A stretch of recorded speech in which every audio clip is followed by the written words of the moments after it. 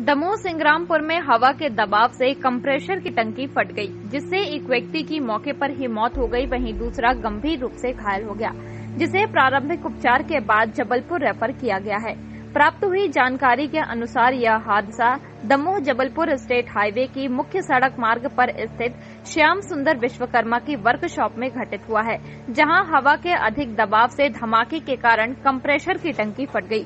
टंकी फटने से दुकान में सामान खरीदने गए नवीन की दर्दनाक मौत हो गई। वहीं वर्कशॉप संचालक के बेटे चन्नू की हालत गंभीर बनी हुई है। बता दें कि यह हादसा इतना खतरनाक था कि कंप्रेशर मशीन के फटने से वर्कशॉप के परखच्चे सहित दीवार तक फट गई। वहीं वर्कशॉप संचालक के बेटे के सिर में गंभीर चोटें आई हुई हैं, जिसे जबलपुर रेफर किया हुआ है।